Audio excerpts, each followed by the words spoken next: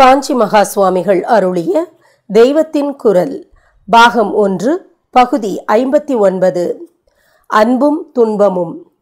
மனித பிறவி எடுத்ததன் பயனே அன்பு செலுத்துவதுதான்.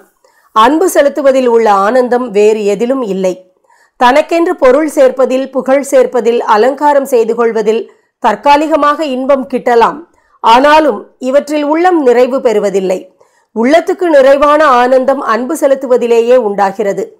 அன்பு செலுத்தும் போது நமக்கு எத்தனை கஷ்டம் வந்தாலும் தேக சிரமம் வந்தாலும் பண செலவானாலும் இதெல்லாம் தெரிவதே இல்லை. அன்பின் ஆனந்தமும் நிறைவுமே இந்த துன்பத்துக்கெல்லாம் மேலாக தெரிகிறது. அன்பு செலுத்தாத வாழ்க்கை வியர்த்தமே. அன்பு செலுத்தும் போது துன்பமே தெரிவதில்லை என்கிறேன். ஆனால் கடைசியில் ஒரு நாள் அன்பு செலுத்தப்பட்ட வஸ்துவே நமக்கு பெரிய துன்பத்தை கொடுத்து விடுகிறது. நாம் ஒருவரிடம் அன்பு வைக்கிறோம்.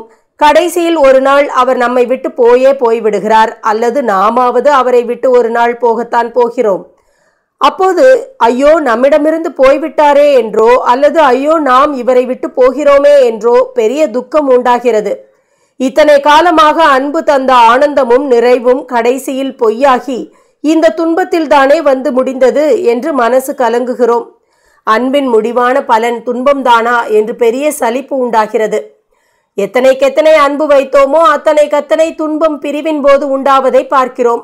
அன்பே செலுத்தாமல் சுய காரியவாதியாகவோ அல்லது ஜடமாகவோ இருக்கிற ஜன்மாவே சிலாக்கியமானதோ என்று கூட தோன்றிவிடும். அப்படிப்பட்டவனுக்கு இந்த பிரிவு துன்பமே இல்லை அல்லவா? ஆனால் உண்மையில் சுய காரியவாதி பாபத்தை தான் மூட்டை கட்டுகிறான். மனித பிறவி எடுத்துவிட்டு ஆனந்தம் நிறைவு முதலியன இல்லாமல் மரம் மட்டை கல் மாதிரி ஜடமாக இருப்பதும் பிரயோஜனமில்லை. அன்பு செய்தாலும் முடிவில் துன்பம் அன்பு இல்லாமல் இருந்தாலோ வாழ்க்கையில் ருசியே இல்லை. இப்படியானால் என்ன செய்வது? மாறாத மாளாத அன்பை உண்டாக்கிக் கொள்வதே வழி. நம்முடைய அன்புக்குரிய வஸ்து நம்மை விட்டு என்றும் பிரிந்து போகாததாக இருக்க வேண்டும்.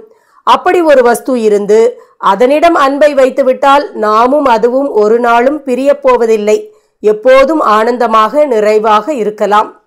அதாவது என்றும் மாறாமல் இருக்கிற ஒரே வஸ்துவான பரமாத்மாவிடம் அன்பை பூரணமாக வைத்துவிட வேண்டும். பரமாத்மா நம்மை விட்டு ஒருபோதும் நீங்குவதில்லை. நம் சரீரத்திலிருந்து உயிர் பிரிந்தாலும் பிரிகிற உயிர் பரமாத்மாவிடமிருந்து பிரியாமல் அவரிடமே கலந்துவிடும். அவரிடம் வைக்கிற அன்பே சாஸ்வதமாக இருக்க முடியும். அழியாத பரமாத்மாவிடம் அன்பாக இருக்க வேண்டுமென்றால் வேறு யாரிடமும் அன்பாக இருக்கக்கூடாதா? மற்ற எல்லோரும் என்றோ ஒரு நாள் நசிப்பவர்கள்தானே என்ற கேள்வி எழலாம். பரமாத்மாவிடம் அன்பை நாம் மேலும் மேலும் வளர்த்து கொண்டால் அவருக்கு வேறாக யாருமே இல்லை என்று தெரியும்.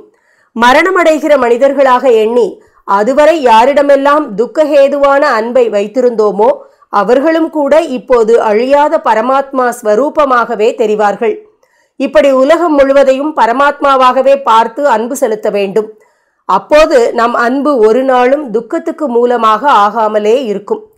எல்லோரையும் பரமாத்ம ஸ்வரூபமாக பார்த்து அன்பு செலுத்த முடியாவிட்டாலும் ஆத்ம குணம் நிறைந்த பெரியவர்கள் நல்ல ஞானமும் அருளும் நிறைந்த சத்குரு ஆகியோரை பரமாத்மாவாக கருதி அன்பு செலுத்துவது சுலபமாக முடிகிறது.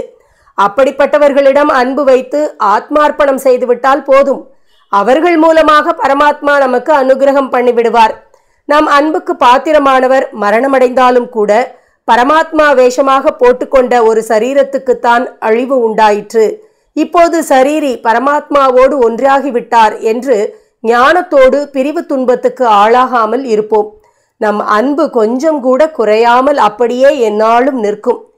ஈஸ்வரனிடம் சாதுக்களிடம் இந்த அன்பை அப்பியசிக்க ஆரம்பித்து கொஞ்சம் கொஞ்சமாக சமஸ்த ஜீவராசிகளுக்கும் விஸ்தரிக்க வேண்டும்.